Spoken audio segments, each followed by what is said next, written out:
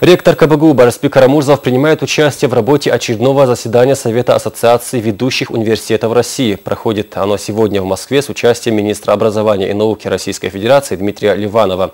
Обсуждаются критерии мониторинга эффективности деятельности высших учебных заведений.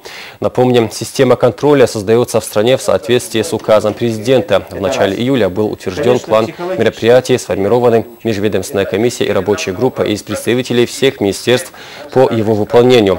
Минобром России создана информационно-аналитическая система, в которую будет заноситься вся информация о деятельности госвузов. К концу августа все данные по высшим учебным заведениям должны быть собраны до декабря. Э, группа проведет анализ и сделать, сделает конкретные выводы. Основные группы критериев – образовательная деятельность, научно-исследовательская работа, международная деятельность и финансовые показатели –